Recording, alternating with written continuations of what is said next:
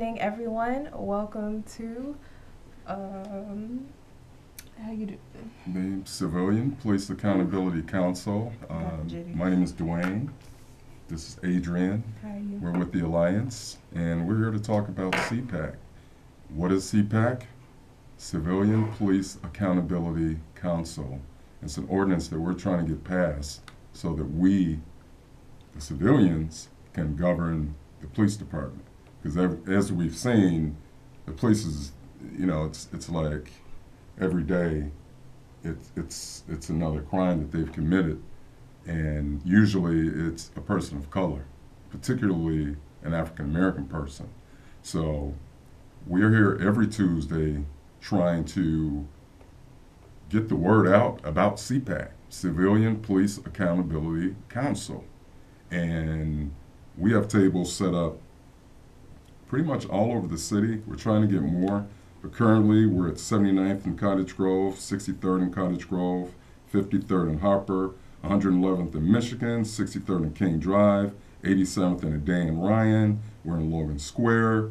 We need more tables, more volunteers, people to get out and do something about excuse me do something about police crimes police brutality just recently a few days ago in milwaukee a young man was murdered and you know i think i think it's it's like every week it's it's a new case it's a new state but it's the same scenario an, Af- an african american person being murdered by the police department and I'm sure that you're tired of hearing about it. I mean, we all are.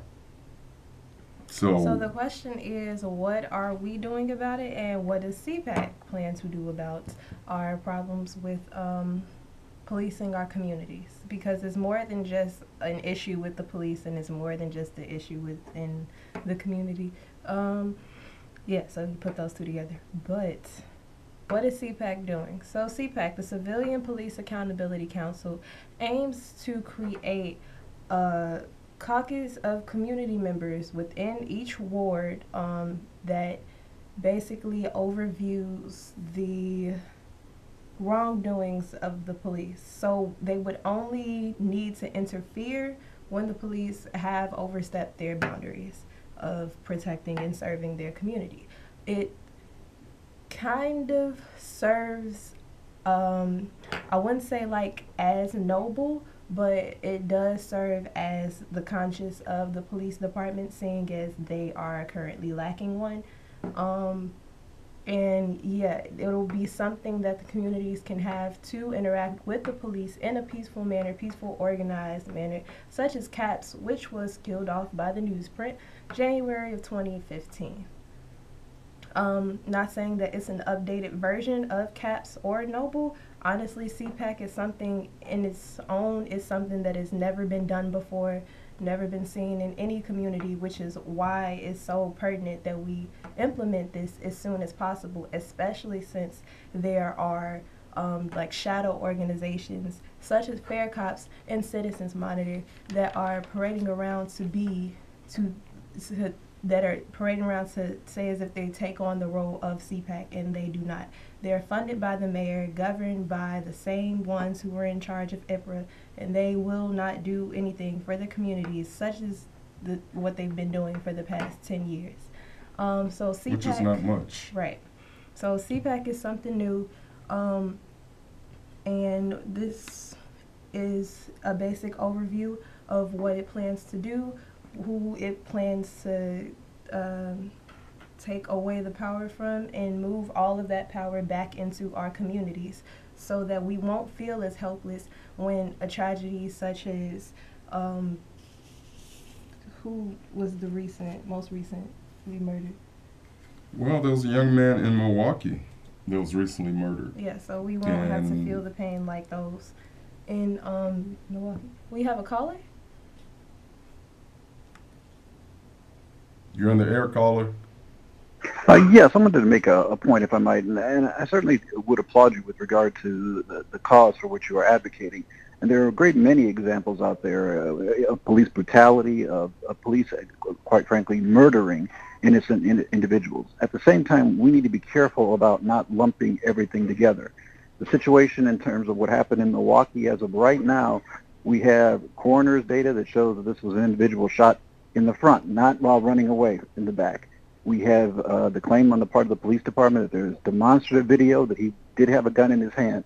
This is not the Freddie Gray case. This is not a number of other cases where demonstrably the police have engaged in wrongful behavior. I'm sorry, but not every time the police uh, end up shooting someone is that a, a wrongful deed. There are times when people bring that upon themselves through their actions. If you point a gun at a police officer and then you end up dead as a result of police shooting you, that is something that is your fault. That is not an example of police murdering you. And I'm glad that you actually did clear that up because, um, no, we're not trying to defend anyone who's out here attempting to murder someone um, that has any ill intentions toward anyone. Um, I'm just speaking on the 728 killings that have happened this year so far and the 1,207 killings that happened last year by the police. The last one of which uh, the person who was shot and killed was mistaken for having a gun when he had a cell phone in his right hand. So it's um, right, and that's and, and that and that's why I'm I'm applauding you with regard to uh, exactly what you're talking about. In in those cases where we can demonstratively demonstrate a wrongdoing, we certainly need to uh, address that. At the same time, uh, we need to recognize that, for instance, what's happening in Milwaukee uh, that does lead me and a great many other people uh, somewhat bewildered in that uh, I I don't understand, given the evidence so far, as to exactly why people are protesting given that there's no evidence that this individual was wrongfully killed. Uh, the, as a matter of fact, the evidence is piling up that he, in fact, bought this upon himself. Uh, again, unless unless the police uh, are lying, that the videotape doesn't show what they claim it shows, that the coroner's report is wrong. I mean, all of this would have to be a lie. In which case, I think certainly there should be outrage. But as of right now, I don't understand the, the, the notion of outrage in that regard. There should be outrage in terms of other cases, and that you're, you're absolutely right. Uh, one person wrongfully uh, killed by the police is one too many, and we certainly should raise those issues. We should raise those issues and we should take political action such as contacting your aldermen, such as moving throughout your community and being that positive voice and that informative voice, letting everyone know that there is something being done and it's called CPAC and we need it to be passed.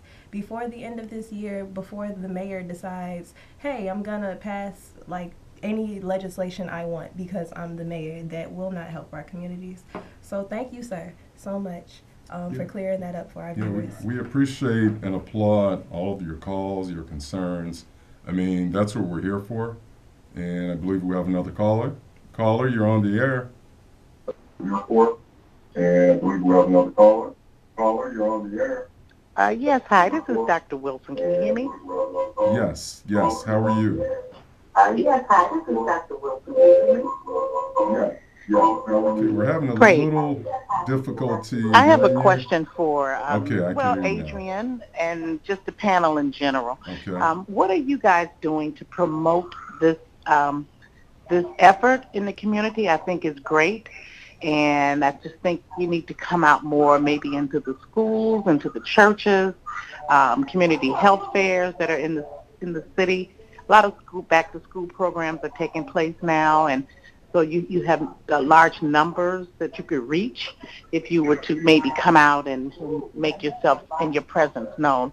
Um, I'm just finding out about this, and um, it is quite interesting. And I want to applaud Miss Adrian for her efforts in the community, and um, she's volunteering her time um, to try to make a difference. And I think it's a wonderful thing.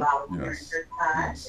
Okay, well, uh, thank you, Colin, for your question. And a couple of things that we are doing, we are just now coming together with other organizations throughout the community, such as CAIR, such as the U.S. Palestinian Network, um, and several other. Um, several other community social organizations that I really can't just roll off the tip of my tongue right now, but um, we are involved in uh, their efforts as well. So we show up to their events, and um, that's our basis of networking at the current moment. All of your input is greatly appreciated, and I will be taking it back to the organization to see how we can implement these to get CPAC passed much sooner.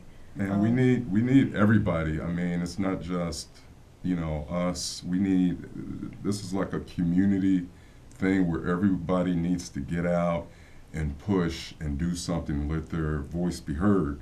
Now, It's just a voice. If they hear you say it to- once. right, just give you an update tonight at Westinghouse College Prep, 3223 West Franklin. There is a public hearing. As a matter of fact, it's going on tonight at 6:30.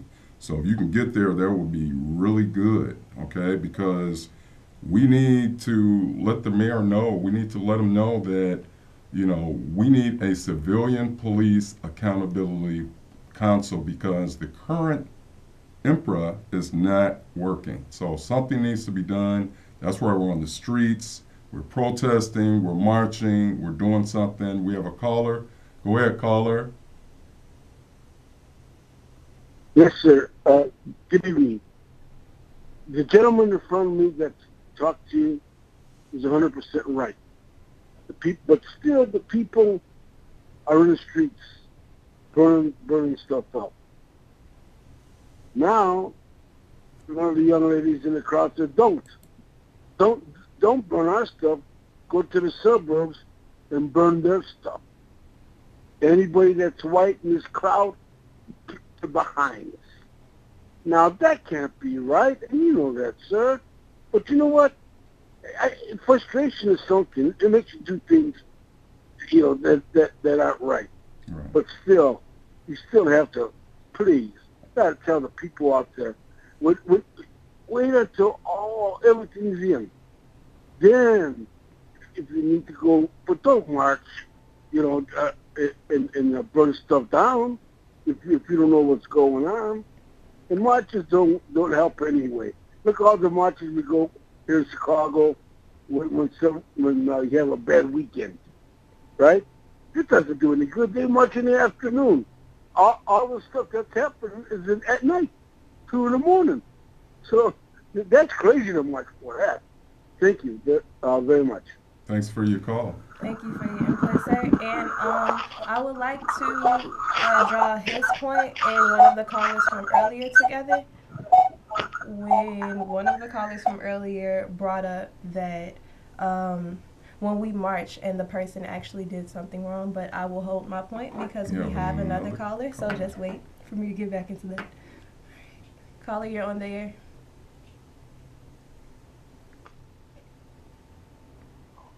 Caller, are you there? I guess not. I don't know, maybe there's a little difficulty. Hello? through- Hi. Hi, how are you? Good. I can barely hear you. Okay, how are you? Can you hear us now?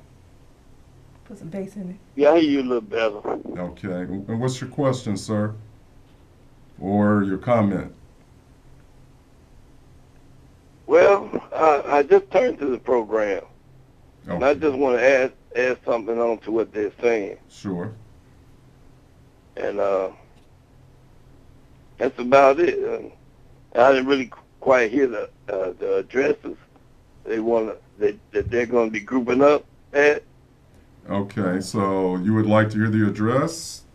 That's at Westinghouse College Prep. It's 3223 West Franklin. And that's tonight at Oh, that's 6:30. today. Yes, that's tonight. It's going on right now. So if you can, Uh, if you can, get over there right now. Uh, if you I can't, can't don't do that. I'm packing up. Were they going to have it again somewhere? There are Like always uh, in, There are always public hearings that are taking place throughout Chicago. They may sound boring, but I promise you they're very interesting. And um, we'll be having information on their locations and whatnot each and every week here at 6:30. And um, yeah, I believe he has a couple of more that he knows about that are coming up. So if you know anyone who is interested in obtaining this kind of information, feel free to let them know. It's all about sharing knowledge. So go Absolutely. ahead, spit them. Absolutely. you know, Absolutely. I just started watching really CAN TV, you know, and I found it real interesting, you know. Okay.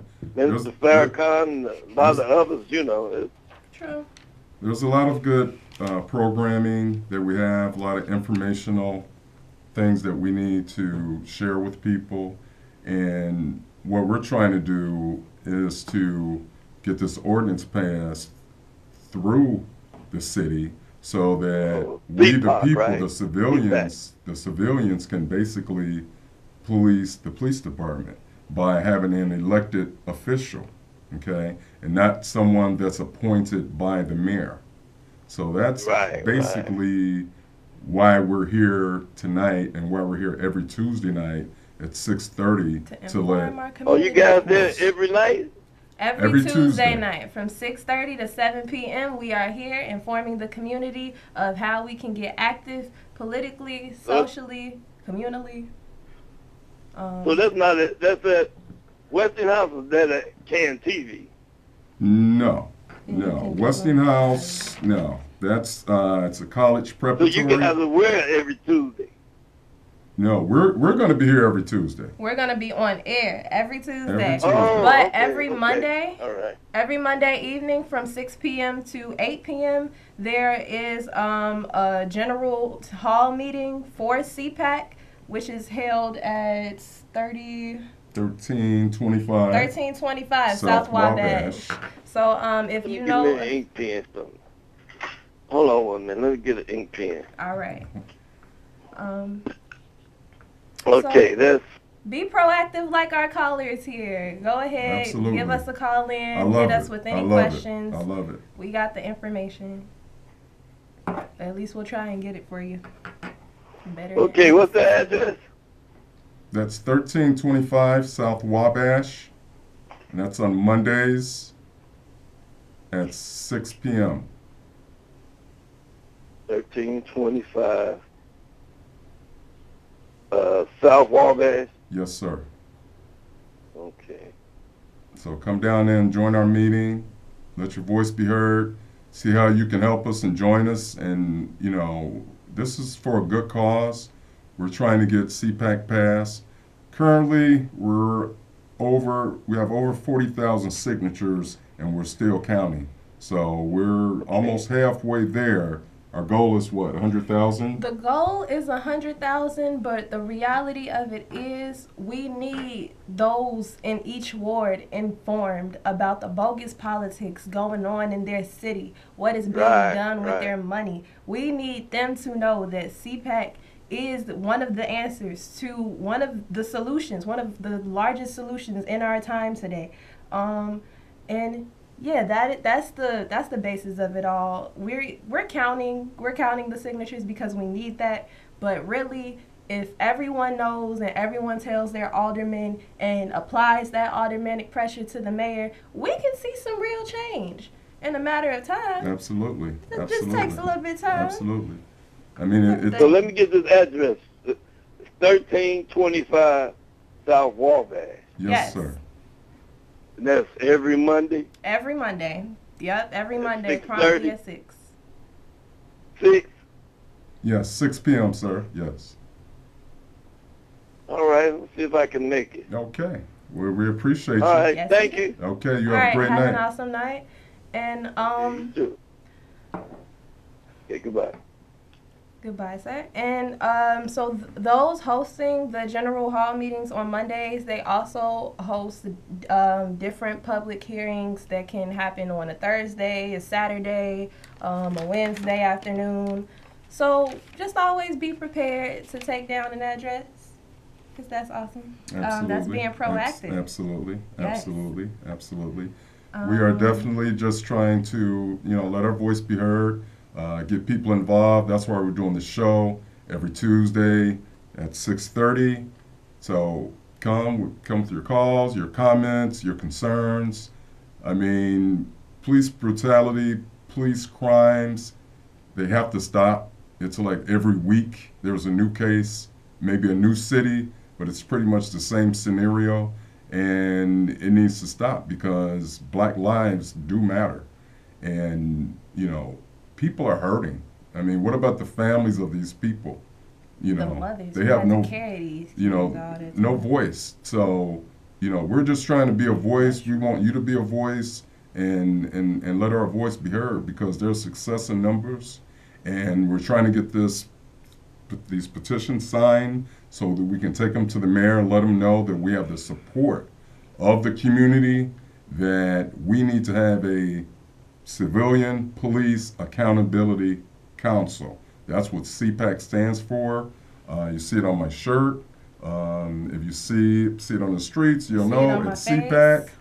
You know. I look like CPAC. All right. So it, it's something that Adrian and I are definitely passionate about, and but we're just two people out of the thousands of people that you know know about this, and just trying to get more and people. in- hundreds of thousands. yeah, just trying to get more people involved. I mean, we need your signatures.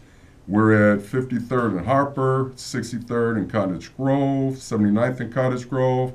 Come down, sign a petition. You can go online, you can sign a petition.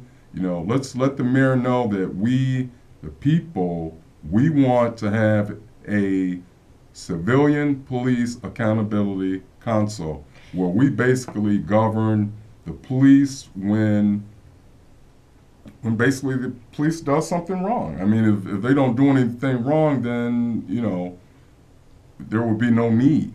But if you look at what's going on, and it's it's hard not to see what's going on. It's it's it's just clearly wrong. I mean, it doesn't matter what color the person is. Wrong is wrong, but it just happens to be mostly African American people who are being murdered by the police department, and a lot of cases, I know we had a caller said that, you know, sometimes, you know, more or less the person is doing something wrong or what have you. Yeah, I wanted to That's, expound that's, on that's that. That's true, but there's been a lot of cases, we, you know, it's been a lot of cases 12,000. where, Tw- not 12,000. 1,207. A lot of cases where From this year. the person was unarmed and, you know, Um, yeah, and things that's, went that's left. just, that's just upsetting to They me. really did just go left. Um, so I just wanted to expound on a couple of things. Well, one thing, first thing I wanted to do before I forget is to challenge the viewers and all of those who have called in. If police crime said like that isn't your sole issue with everything that's wrong with Chicago. I challenge you to take, just put the timer on your phone, take two minutes out of your day to think about how you can make an actual change in the largest issue you find in Chicago. Because I promise the solution is much closer than you think. Um, for me, it was a train ride away to this organization. So, uh, it, sometimes it can be that simple. Sometimes it can be a simple call. So just take two minutes out of your day to think about how you can make an actual change because it's never too late to continue considering how I can better my environment, how I can better this for my children, how I can better this for all those around me, et cetera, et cetera. Um, also, to talk about how um, sometimes the person can be in the wrong. Sometimes um, marching isn't the best answer, especially when you see that these marches are being hailed in vain, that these marches um, don't lead to anything positive. There are people looting and burning things down. Um, yeah, I honestly forgot my point on that. But I honestly okay. believe, yeah, because that was a bit from earlier. So Well- I did forget the point that I was trying to bring up. I'm so sorry. Um, what am I trying to wrap up here from that? Well, we've got, uh, wanted to mention the Bud Billiken Day Parade. Yeah, was we're held gonna get last to that. We're gonna get to that. Um, hmm. Yeah, I really did forget my point because that was about 10 minutes ago. But I will try my best to improve on myself. See, that's two minutes I can take out of my day right there. Improving the world.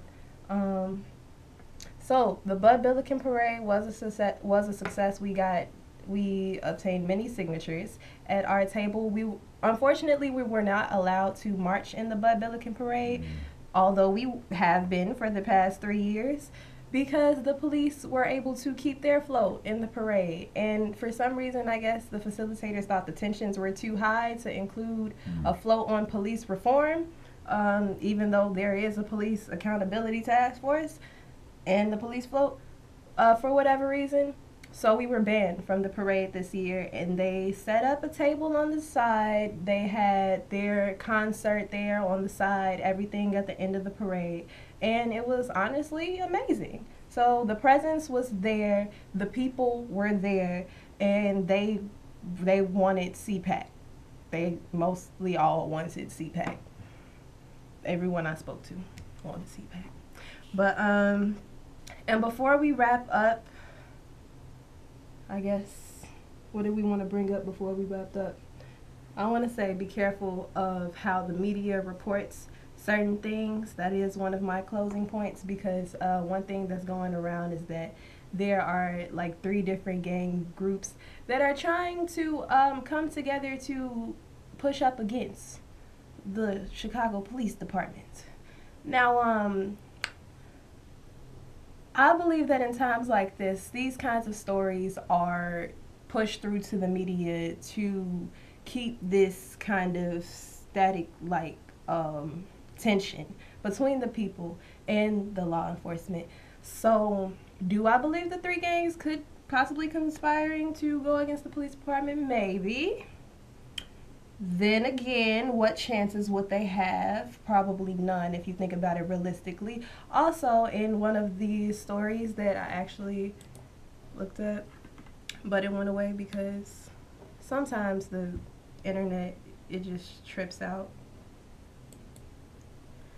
One of the stories reported that the city council's 50 to 0 approval on Wednesdays of Eddie Johnson's new appointment as police superintendent, there was no 50 to 0 approval.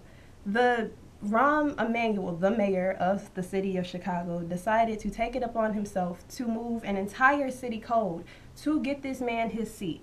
He pulled him into his office, specifically Eddie Johnson, and told him, I want you to have this job.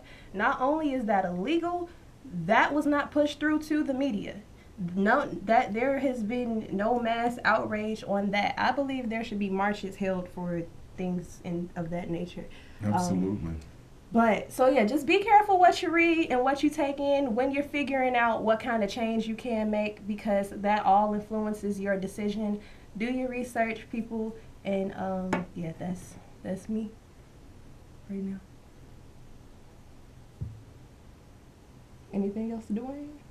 Well, let's get out there, and sign those petitions, so we can take all these petitions we have to the mayor and let him know that we need a civilian police accountability council.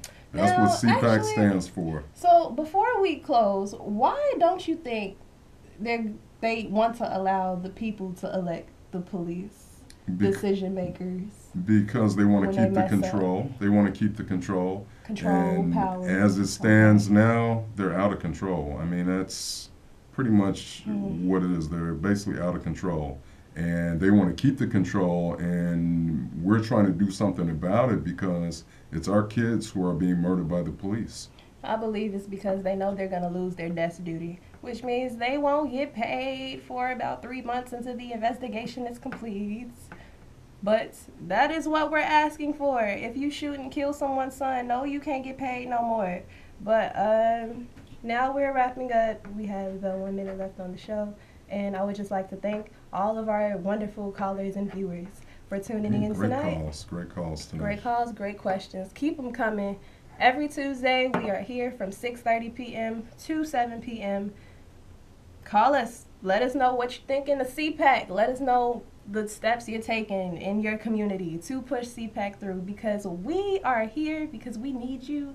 We love you. We want to share that love and all this knowledge with Chicago, with Austin, with West Lawndale, with Englewood, everywhere, every ward.